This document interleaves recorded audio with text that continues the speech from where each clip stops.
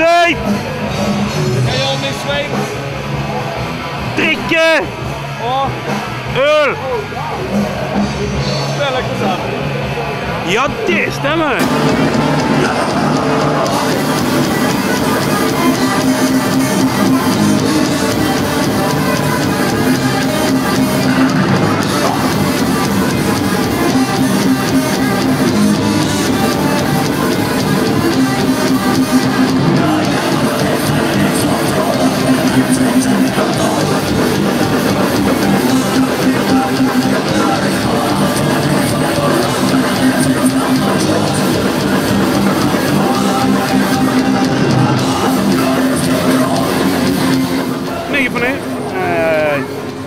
Kjempeplass. Det er alltid kongelyd på scenen her. Alltid kongelyd ut.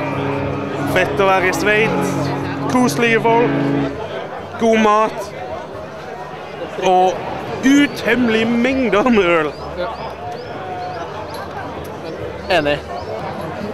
Ditto.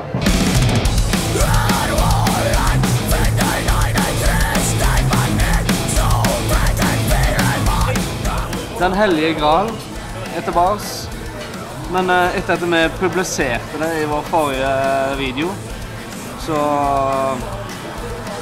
måtte de sette inn litt sikkerhetsvakter. Passe litt på det.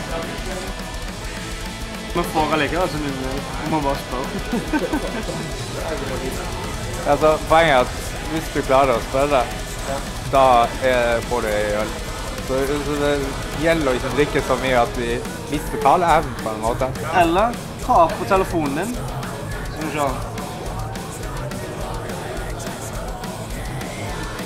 Ein bier, bitte.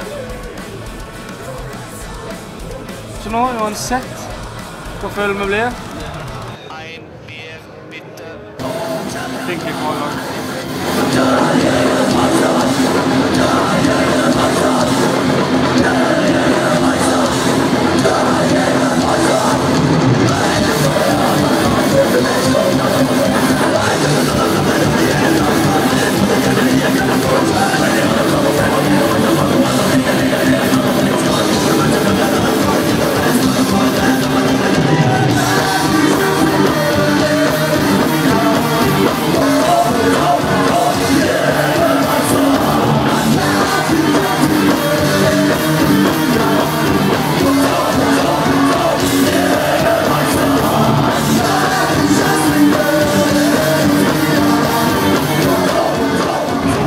Jeg har jo spilt inn ny musikkvideo også. Nei, det er jo en av de store hitene på plata.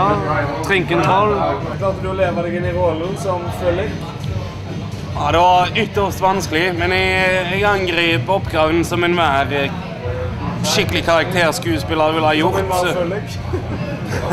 For meg var det veldig skuespill. Jeg tenkte nå er jeg ikke på pub og drikker. Nå tenkte jeg nå spiller jeg meg selv som er på pub og drikker. Og det er noe helt annet. Det krever, helt det krever noe helt Ja, det er noe helt annet. Det krever så mye mer.